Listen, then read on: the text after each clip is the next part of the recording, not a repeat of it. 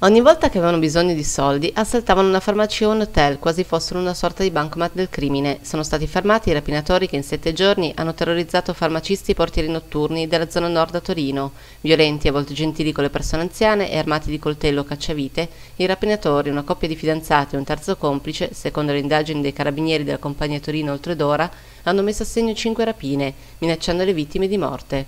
Ma le rapine potrebbero essere molte di più. I carabinieri gli hanno notificato un'ordinanza di custodia cautelare in carcere emessa dalla procura per rapina aggravata.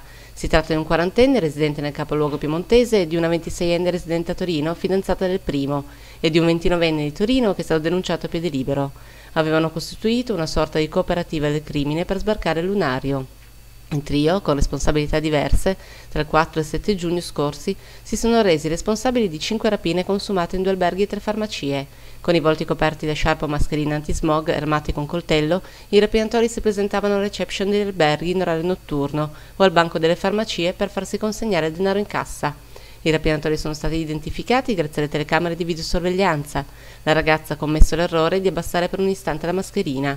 Ora le indagini proseguono per stabilire se ci siano collegamenti con altre rapine nella medesima area.